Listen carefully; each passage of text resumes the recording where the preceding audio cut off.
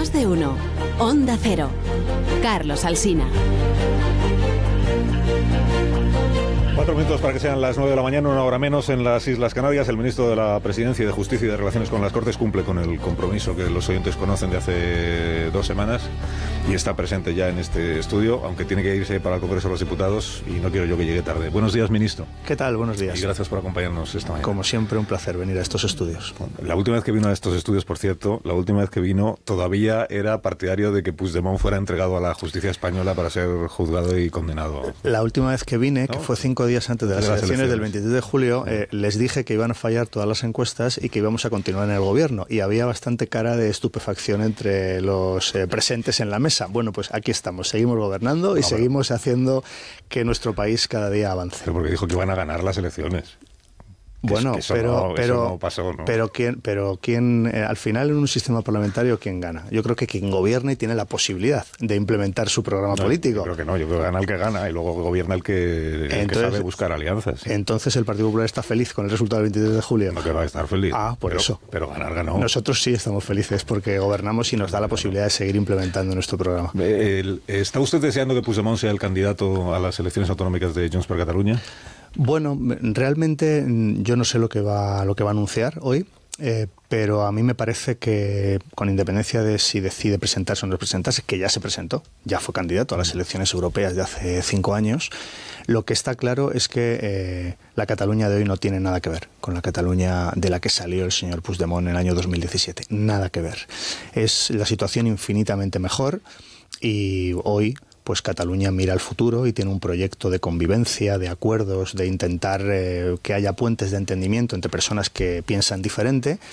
A, a, diferencia pues de la enorme tensión que se vivió cuando el señor Puigdemont era presidente de la Generalitat. Por tanto, eso es lo esencial, que la Cataluña de hoy es una Cataluña que mira al futuro, una Cataluña que tiene un proyecto, una Cataluña que yo creo que está consiguiendo volver a ser lo que nunca debió dejar de ser, porque tuvo una década perdida, que es lo que supuso el proceso independentista, y ahora pues vuelve a ser locomotora no solo de España, sino también de la Unión Europea.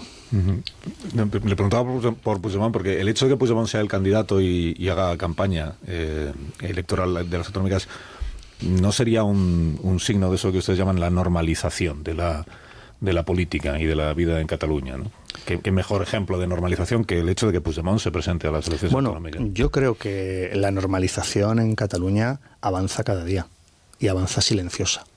Y por supuesto que hace mucho más ruido cualquier declaración y hace mucho, más ruido cualquier eh, circunstancia que siempre va a ser más noticioso a que haya una normalidad como hay en la vida política. Mire, lo fundamental que ha sucedido en estos últimos años, desde que gobernamos desde el año 98, perdón, del año 2018, lo fundamental es que ahora todas las fuerzas políticas catalanas están haciendo política dentro de las instituciones, dentro de la ley y dentro de la Constitución. Desde el año 2018 se cumple la Constitución en Cataluña y se cumple la ley. Y eso es lo fundamental porque eso es un sistema democrático. Que todos los partidos, con independencia de, por supuesto, sus legítimas aspiraciones y sus legítimas ideas, hagan política dentro de la democracia y dentro de las instituciones. Y esto se ha conseguido con política. Con sí, política. Si el señor Puigdemont se presenta en España eh, antes, durante o después de la campaña electoral, eh, hay que detenerle todavía, porque no entra en vigor la ley de amnistía, ¿no? Bueno, esto corresponde a una decisión judicial. Él en este momento tiene una orden de detención nacional y tiene una euroorden internacional también para ser detenido que son las euroórdenes y las órdenes que una vez que la ley de amnistía entre en vigor pierden, pierden su vigencia. Hasta que no entre en vigor la ley de amnistía, por tanto, están vigentes. O sea, hasta sí, que no claro. se publique en el BOE la ley de amnistía. Eso es, cuando se publique la amnistía en, en, el BOE, en ese momento estas euroórdenes decaen y esta orden de detención, y hasta ese momento, pues son los tribunales que tienen que tomar decisión. En todo caso, son los tribunales. La ley de amnistía optó por un modelo eh, que ha sido avalado por la Comisión de Venecia, por ejemplo, donde lo que se dice es que, que son los jueces los que tienen que adoptar las últimas decisiones, obviamente, como corresponde a un Estado de Derecho. Un Estado de Derecho son leyes que se aprueban democráticamente por un Parlamento que eligen los ciudadanos y unas leyes que aplican los jueces de manera imparcial, de manera independiente y con rigor. Eh, de la Comisión de Venecia ya hablamos en la última, en la última entrevista. Sí. Como, como, sé que tiene prisa, no vamos a entrar en. Bueno, pero es que la Comisión de Venecia. Porque dice muchas cosas, la Comisión de Venecia. Dice muchas cosas, pero, pero dice algunas fundamentales. Por eso la Comisión de Venecia. Bueno, todas son así, fundamentales. Bueno, yo creo que hay algunas más fundamentales que otras. Yo, hay quien se agarra a los clavos ardiendo. Bueno, pues fenomenal. Ahí están agarrados al clavo ardiendo. Pero mire. La Comisión de Venecia dice que ha analizado 54 países y que en todos ellos hay amnistías, en todos ellos, que 12 de esos países no tienen previsión constitucional, como España, y que han aprobado también amnistías. Países de nuestro entorno, como Alemania, como Dinamarca, como, como Bélgica, dice que no es necesario una reforma constitucional, que no es necesario que haya una reforma en nuestra Constitución. Lo dice expresamente y dice además en la última reforma del informe, en la última enmienda, dice que una ley orgánica es una ley idónea para aprobar una ley de amnistía. Y dice dos cosas más que no afecta al principio de igualdad entre españoles, porque la ley de amnistía tiene un fin lícito que es la reconciliación, y dice que no afecta a la separación de poderes porque la última palabra la tienen los jueces. Es decir, los tres argumentos fundamentales que utilizaba la derecha de que hace falta reformar la Constitución, afecta a la separación de poderes, afecta a la igualdad entre españoles, los tres argumentos decaen por un organismo internacional e independiente que no está en el fragor de la batalla política española y que lo conforman 61 países que han aprobado por unanimidad este informe. Un informe que pidió el Partido Popular y que yo agradezco mucho que haya pedido este informe para enriquecer el debate sobre la ley de amnistía. Dice la Comisión de Venecia que el legislativo no ha sido capaz de dar una explicación válida de por qué se ha cambiado el, el plazo, o sea, por qué ahora la amnistía empieza en noviembre del año 2011 y por qué se extiende hasta hoy. No termina de ver cuál es el vínculo entre noviembre del 2011 y el, referéndum del 14 y el referéndum del 17. Pues mire, el, informe de la Comisión de Venecia, que yo no digo que sea un 5-0 en favor de las tesis del gobierno, digo que es un 5-1. Y entonces este 1 dice que, eh, que por qué no hay explicado en la exposición de motivos eh, esto. Yo creo que está explicado suficientemente. Nosotros queremos que la ley de amnistía lo que haga es que cubra a todas las personas que participaron en el proceso independentista, a todas, sin excepción a todas. Y por tanto, en un periodo, en un ámbito temporal, como es el caso de más de 12 años, pues se amplía dos meses para cubrir a todas esas personas, que es lo que deseamos hacer. Por tanto, claro, la ley de amnistía también dice otras cosas. eso es lo que objeta la Comisión de Venecia. Bueno, están ustedes ampliando para personas concretas que en ese mes de noviembre debieron de hacer algo. Para personas concretas no, todo lo contrario. Lo que estamos intentando es ampliar la ley de amnistía para que cubra a todas las personas que participaron en el proceso independentista.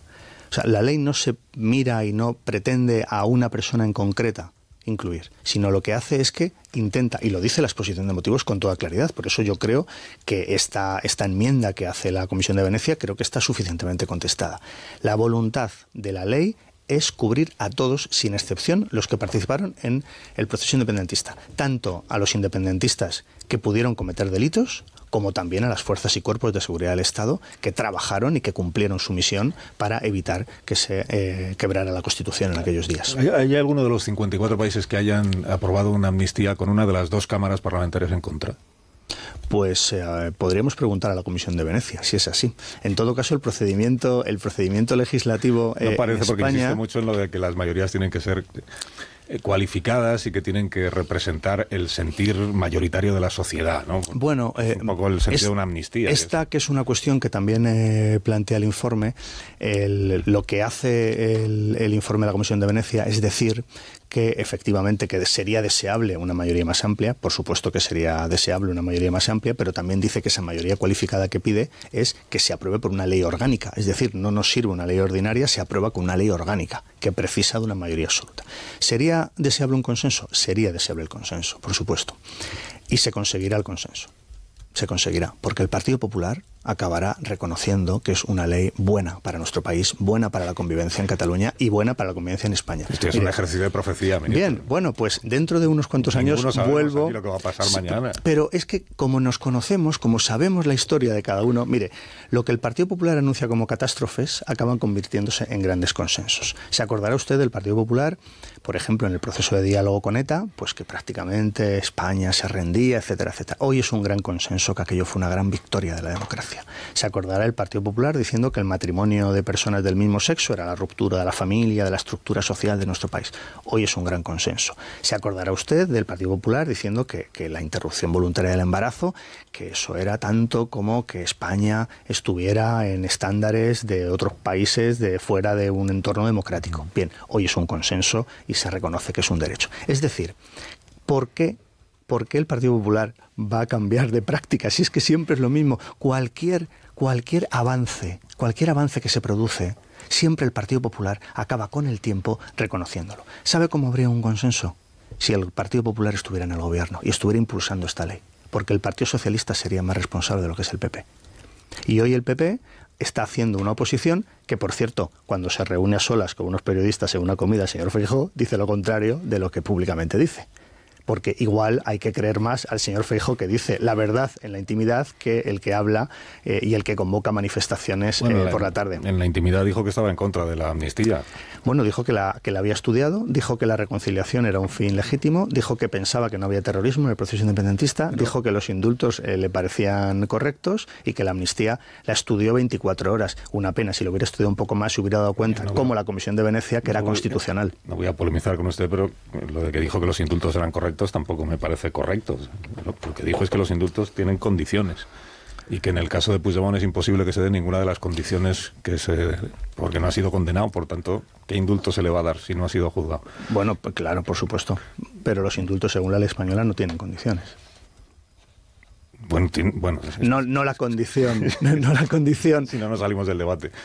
Pero pero le, quiero preguntar por otras cuestiones, que sé que, tiene prisa. Eh, hoy se aprueba en el Congreso la, Comisión de Investigación sobre los eh, contratos, adjudicaciones de administraciones públicas eh, sobre material sanitario durante los meses de, la... ¿Van a convocar a Coldo a la, Comisión de Investigación? ¿El Grupo Socialista va a pedir que comparezca a Coldo? Mire, nosotros lo que hemos pedido es que se celebre y que se constituya una comisión de investigación para que investigue todas las contrataciones que se hicieron durante la pandemia para eh, adquirir material sanitario. yo recuerdo bien aquella época y sé muy bien eh, lo que hacíamos por intentar conseguir material sanitario cuando no había. Y me acuerdo perfectamente cuando teníamos unas cifras eh, de fallecidos que aumentaban cada día y no teníamos respiradores, no teníamos mascarillas, no teníamos material sanitario básico para poder luchar contra la pandemia. Bueno, pues vamos a ver y vamos a investigar y vamos a conocer qué pasó en todas las administraciones y si realmente hubo alguna irregularidad, por supuesto, que caiga el peso de la ley sobre esta persona y por supuesto, no solo en la Administración General del Estado, se hicieron contrataciones en todas las administraciones autonómicas, incluso también en administraciones locales. Creo que será bueno para nuestro país conocer cómo han funcionado los procedimientos de contratación en un momento de tanto estrés y de tanta tensión como fue la lucha contra la pandemia, sobre todo en los primeros, en los primeros meses. Entonces está Coldo en la lista de, convocados por el... Mire, eh, eh, forma parte de una segunda fase de la comisión de investigación. Ahora, hoy se aprueba la comisión y después se habla del plan de trabajo y de los comparecientes. Y eso lo decidirán los grupos parlamentarios, que mm, quién comparecerá en esa comisión. Y Ábalos, ¿no? Habrá que pedir también la comparecencia de Ábalos. Mire, teniendo en cuenta que se le ha pedido. Nosotros, cuando.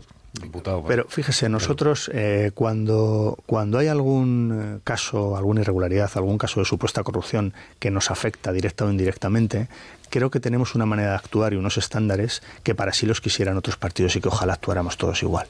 Porque nosotros lo que hacemos es pedir responsabilidades políticas a personas que ni siquiera están no ya imputadas, sino que no están encausadas, como fue el caso del señor Ábalos, por supuesto, lo que pedimos es que caiga todo el peso de la ley. Quien haya pagado, quien haya tenido un comportamiento corrupto, que se le condene sin más.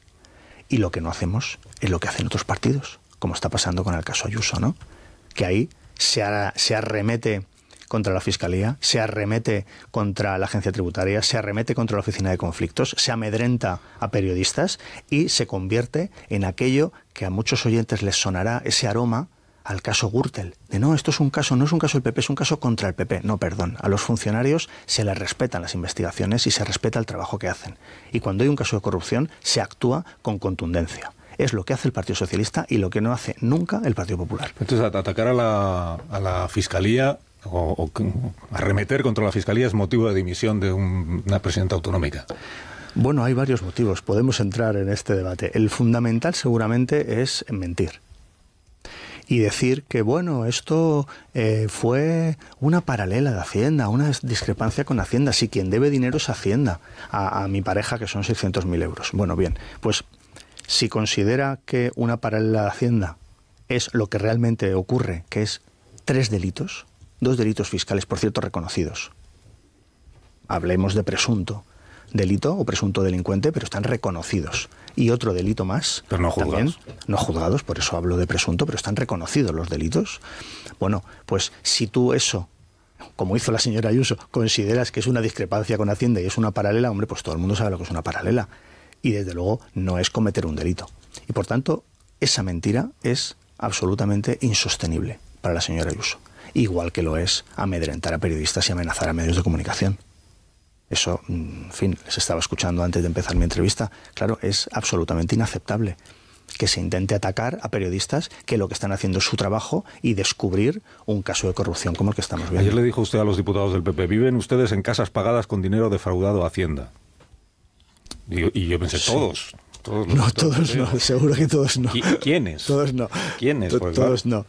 Todos no. Mire, yo lo que les dije es, les puse frente al espejo y les, les expliqué lo que acabo de contar en este micrófono. Y es, miren, nosotros cuando tenemos un caso actuamos con contundencia, pedimos responsabilidades políticas a personas que no están encausadas y, por supuesto, colaboramos con la justicia. Y lo que hacen en el Partido Popular es decir que es un caso contra ellos, que la Fiscalía, que la Agencia Tributaria, que la Oficina de Conflictos, que todo el mundo hace mal su trabajo porque ellos son ejemplares y, por supuesto, no colaboran con la justicia. Todo el mundo recuerda ese disco duro que sufrió los martillazos del Partido Popular para no colaborar con la justicia. Bueno, pues que colaboren con la justicia que esclarezcan los hechos, que faciliten la labor de, la, en este caso de la Fiscalía o también de los jueces y magistrados. Pero ustedes los hechos ya los tienen claros, porque ustedes todos los días están diciendo que ese piso se pagó con fraude fiscal. Bueno, es que esos, esos delitos están reconocidos por la pareja, la señora Uso. Es decir, el piso no ha dicho nadie nada. Bueno, está reconocido que ha cometido dos delitos fiscales por importe de 350.000 euros. Es decir... Por impuesto de sociedades. Una cosa es el impuesto de sociedad y otra cosa es la renta del contribuyente de la persona física. Sí, por supuesto, pero hay unos dividendos que cuando la sociedad pertenece a uno, pues los dividendos coinciden con los beneficios de la sociedad. En este caso hay 350.000 euros. que sobre eso Hacienda no ha dicho nada, que yo sepa. Sobre los ingresos del contribuyente persona física, que yo sepa, ¿eh? porque igual hay un informe, no lo sé. Sobre el IRPF, quiero decir, Hacienda no ha dicho nada. Si los ingresos han sido correctos y ha tributado correctamente lo que le corresponde por sus ingresos, el piso se lo ha comprado con su dinero. Bien, mire, 350.000 eh, euros que ha reconocido que no ha tributado y que eso supone dos delitos fiscales. Es decir, hay 350.000 euros que deberían estar en el erario público. De la, de la empresa. En sí, 350.000 euros de la sociedad. Pero es que no entiendo el debate, si es el dueño de la empresa. Si por tanto en este caso la sociedad eh, coincide con la persona física. Eh, no. O sea, bueno, es que es un... el administrador cobrará de la sociedad mercantil lo que tenga estipulado. Sí, claro. Y la Hacienda le habrá investigado también eso, supongo. Una cosa es lo que se lleva él de la sociedad mercantil, aunque sea suya, y otra cosa es el patrimonio de la empresa mercantil. Y lo que deba Hacienda de impuestos de sociedades. Los... Pero establecer que porque una empresa haya dejado de pagar impuestos de sociedades, entonces la renta personal del contribuyente que administra esa empresa o que es el propietario de esa empresa es, es objeto de sospecha, no sé, los, yo, no, no sé gran cosa de esto porque no me dedico a esto, pero... Pero entiendo que si Hacienda no le ha dicho nada al contribuyente González Amador sobre su declaración de la renta, usted ha cobrado más de lo que debía o ha tributado menos de lo que debía, el piso está fuera de, de la investigación. En el informe de la agencia tributaria yo no veo que se hable del piso y ustedes, sin embargo, todo el tiempo están hablando del piso. Mire, si hay una sociedad, como es el caso, que pertenece a una persona física, como es el caso, que es un particular, que ha defraudado a Hacienda 350.000 euros, que lo ha reconocido y que ha cometido dos delitos, esos 350.000 euros que deberían estar en la hacienda pública de todos están en su bolsillo y, por tanto, los puede haber invertido en esa casa que se compró. O no o no, pero, pero esa casa... O puede sobrarle el dinero y haberse comprado la casa con, más, con bien, dinero pues que no, este, para esto, Pues para eso está la transparencia y la colaboración con la justicia, que nos lo expliquen todo. Por supuesto, por supuesto. El novio, pues el novio dirá, yo que tengo que explicar, soy una persona particular. Pero yo creo que quedarnos en, los detalles de la investigación, que yo tampoco conozco, por supuesto, que eso eh, conocerá la agencia tributaria y conocerá la fiscalía los detalles. Es que están ustedes, que son los ministros, hablando como si lo conocieran todo. Bueno, pues. pero lo que sí sabemos es que ha habido, vamos, vamos a ir a las grandes categorías ha defraudado 350.000 euros a la hacienda pública la pareja de la presidenta. La presidenta Ayuso mintió y dijo que era una paralela y una discrepancia fiscal. La presidenta Ayuso mintió y dijo que le debía 600.000 euros a Hacienda a su pareja. Es decir, ¿debe asumir una responsabilidad política? ¿Está arremetiendo el entorno de la presidenta Ayuso contra medios de comunicación que están desvelando la verdad? ¿Está remetiendo la presidenta Ayuso contra la Fiscalía, que está investigando el delito, contra la agencia tributaria, que está investigando el delito, contra la oficina de... Es decir, que esto no es un caso contra la señora Ayuso ni contra su pareja. Esto es un caso de un delito fiscal reconocido, de 350.000 euros. 350.000 euros que deberían estar en sanidad, en educación, en dependencia, en vivienda, en ciencia y que están en el bolsillo de este señor. Bueno, no voy a continuar con el, con el debate sobre la fiscalidad porque hay, hay otro debate que es esto de que él ha reconocido. Es el abogado el que dice que... Bueno, el abogado representa a su cliente. En una negociación que se abre con la fiscalía para intentar un acuerdo de conformidad, quien dice que ha habido dos delitos fiscales, pero tampoco él dice que reconozca que ascienden a 350.000 euros. Pero bueno, que el caso cuando se juzgue... Cuando se juzgue, por supuesto, se, verá todos los detalles, pero el abogado representa a su cliente y dice lo que el cliente eh, quiere decir. que a mí me sorprende que el gobierno de España esté proclamando la culpabilidad de un contribuyente que todavía no ha sido ni siquiera procesado. Fíjese que yo hablo de, eh, de, presunto delincuente, pese a que ha reconocido los delitos, porque eh, habiéndose reconocido por su representante legal, que es el abogado. Es decir, mire, todo, todo esto, ¿a qué nos lleva? A que tenemos eh, pues una persona que está mintiendo, como estamos diciendo, porque decía que era Hacienda quien le debía el dinero, etcétera, etcétera. Entonces la dimisión es por la mentira, no por el ¿La dimisión? no por la cosa fiscal del novio.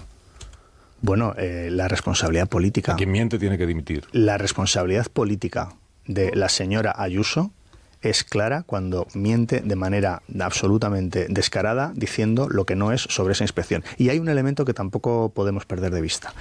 Eh, el silencio del señor Fejo. Eh, si esto pasara a cualquier otro presidente autonómico del Partido Popular, ¿también estaría Genova 13 cruzado de brazos? es que el silencio del señor Feijóo me temo que es terror. Terror a que le pase lo que le pasó al señor Casado. ¿Qué le pasó al señor Casado? Que fue eh, despedido de manera fulminante por el Partido Popular por denunciar una irregularidad, una presunta corrupción que afectaba también a la señora Ayuso. Bueno, yo discrepo. Yo creo que le, le quitaron de la presidencia por intentar contratar detectives para espiar a una presidenta autonómica de su partido. Es distinto. Pues sí, discrepamos. Yo creo que le expulsaron de su partido por denunciar una irregularidad a la señora Ayuso y salió por la ventana en cuestión de horas. Y ahora mismo la pregunta, yo creo que legítima, que nos podemos hacer todos es eh, ¿por qué este silencio cómplice del señor Feijó? ¿Es terror? ¿O es que mm, está de acuerdo con todas las actuaciones que está llevando a cabo la señora Ayuso? O no querer, no querer entrar en el juego de, del gobierno que está con Ayuso todo el día. Bueno, a mí, lo, que, a mí lo que usted me pregunta, yo, yo respondo lo que usted me pregunte.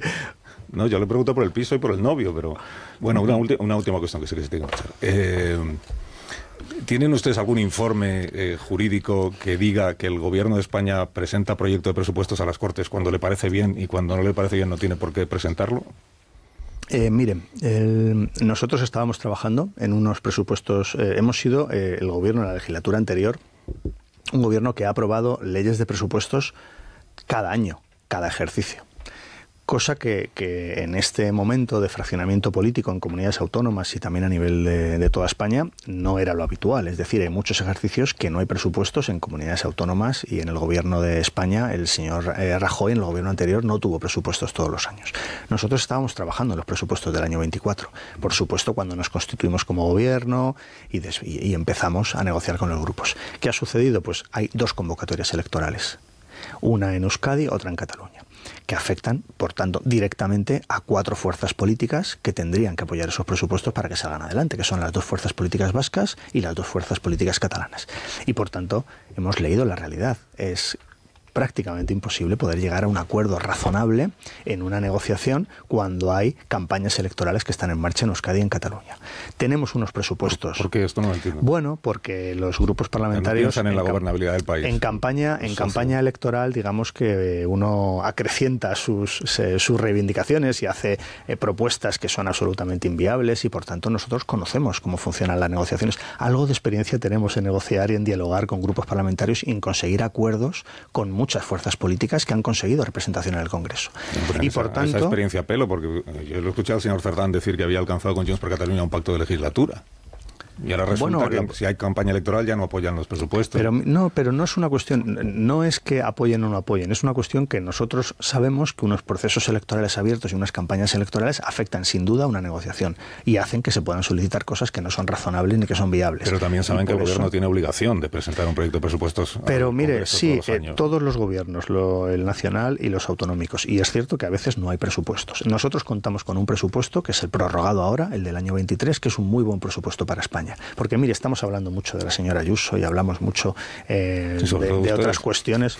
Bueno, eh, yo creo que hoy va en editoriales de, periódicos que no son precisamente afines a la, en su línea editorial al gobierno. O sea, está claro que está siendo un gran caso de, debate público, ¿no? Porque, claro, pues está todo el mundo impactado con que haya una presidenta autonómica que diga que no va a aplicar la ley de vivienda porque no hay un problema de acceso a la vivienda en la Comunidad de Madrid y que ella esté viviendo en un piso del cual 350.000 euros están en duda de si se han destinado a pagar ese piso y que se han defraudado a Hacienda.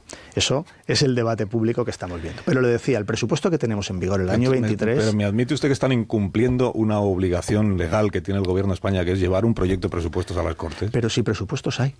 Ah, presupuestos tenemos prorrogados los del 23 y son unos presupuestos que son buenos. Pero si siempre hay presupuestos, no puede dejar de haber sí, claro, por supuesto. Pero estos están prorrogados y por tanto ustedes tienen la obligación de presentar un proyecto nuevo a las pero, Cortes. Pero usted sabe cuándo tenemos y han decidido que no porque ha dicho la vicepresidenta Montero que no hay ambiente para presentar presupuestos. Pero mire, si nos vamos a la estricta legalidad, eh, vayamos a la estricta legalidad. ¿Qué, menos? Pues la estricta legalidad dice que hay que presentar los presupuestos, el proyecto de presupuestos antes del 30 de septiembre del año anterior. Correcto. No había gobierno el 30 de septiembre. Por tanto, no hay más preguntas porque en, esa fecha no había gobierno porque estaba en funciones. hay más preguntas, porque eso ya cambió, ya, ya no, ese, ya, ese escenario ya ha pasado. Sí, pasó, pero la en septiembre fecha... no se presentaban presupuestos. El 1 de enero, como no hay presupuestos nuevos, se prorrogan automáticamente. y el gobierno sigue teniendo obligación de presentar cuanto antes un proyecto nuevo a las Cortes. Pero todos los gobiernos. Sí, sí, todos los gobiernos. Bien, pues hay muchos gobiernos autonómicos y también gobiernos. El nuestro va a ser el primer año que no tiene presupuestos.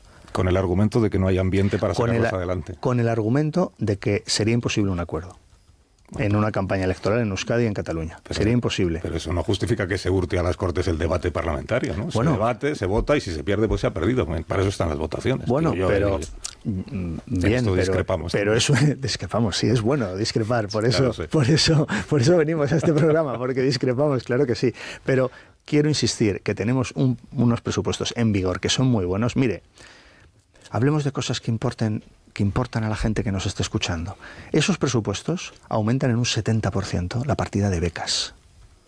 Aumentan en un 151% la partida para dependencia. Aumentan en un 30% la partida para sanidad pública. Absorben fondos europeos que consiguen, entre otras cosas, que hoy España esté creciendo cinco veces por encima de lo que lo hace la media de la Unión Europea. Hoy en Europa se crece, crece el PIB un 0,5%. Y en España el PIB crece un 2,5%, es decir, multiplicamos por 5 el crecimiento económico que tiene Europa. Tenemos en este momento el mayor número de afiliados a la seguridad social de la historia, 21 millones, con una tasa de temporalidad la más baja que nunca hemos tenido en España, un 13%. ¿Sabe lo que esto significa? Pues significa que ayer tenemos sesión de control en el Congreso, que el Partido Popular y Vox nos hacen 14 preguntas entre preguntas e interpelaciones y no hacen ninguna de economía y de empleo. ¿Por qué? porque las cosas van bien, las empresas están teniendo beneficios, está habiendo cada día más empleo, empleo de calidad, empleo con derechos y la economía va en España como un auténtico tiro, porque multiplica por cinco la media europea. Y por eso de esto no quiere hablar eh, la derecha, seguramente porque tampoco tenga un proyecto alternativo. ¿Cuál es el proyecto alternativo del Partido Popular en materia de becas? ¿O en materia educativa? ¿O en materia de ciencia e innovación? porque es que estamos creando de los empleos que creamos, una cuarta parte son empleos de alto valor añadido, relacionados con la tecnología, con la ciencia, con la innovación, a diferencia de lo que pasaba con gobiernos de la derecha. Esta es la España que estamos construyendo, una España en la que estamos trabajando en la convivencia, en la reconciliación, en que la tensión que se vivió en Cataluña se supere de manera definitiva, pero también una España que económicamente, en, derechos y en empleo está avanzando a un enorme ritmo. ¿Usted a, ve a Puigdemont con ánimo de reconciliación? ¿Ha, dado algún signo que usted haya percibido en Puigdemont de querer reconciliarse con las personas a las que atropelló, que somos todos los ciudadanos? Pues mire, eh, la exposición de motivos de la ley de amnistía, la ley de amnistía se llama, y conviene recordarlo, ley de amnistía para la normalización política, institucional y social en Cataluña. Es decir, la finalidad de la ley está en el título de la ley, que es normalizar. Esa normalización, que es silenciosa, que es diaria, que es imparable en Cataluña, se demuestra con miles de ejemplos. Le voy a poner uno. Hace mes y medio estuve en la entrega de despachos a los nuevos jueces y juezas en Barcelona. Por cierto, más del 70% mujeres que han ganado la oposición. Bueno, pues eh, es un acto al que asistió el rey. ¿Sabe cuántos manifestantes había fuera del recinto? Cero, ninguno. Esta es la Cataluña de 2024 la Cataluña de la reconciliación, por encima de que haya personas que hagan declaraciones que puedan, por supuesto, ser más noticiosas que la normalidad que estamos consiguiendo en Cataluña, que es una normalidad. Esas personas eh, que hacen declaraciones se refiere a Puigdemont. Bueno, y a mucha gente que hace declaraciones de que, seguro que ganan titulares eh, en periódicos, pero, la normalización es un hecho. En Puigdemont, que no me gusta discrepar mucho, pero o sí. Discrepamos mucho. a mí, eh, que haya manifestantes me parece que forma parte de la normalidad de la vida política de un pues país. no había ninguno.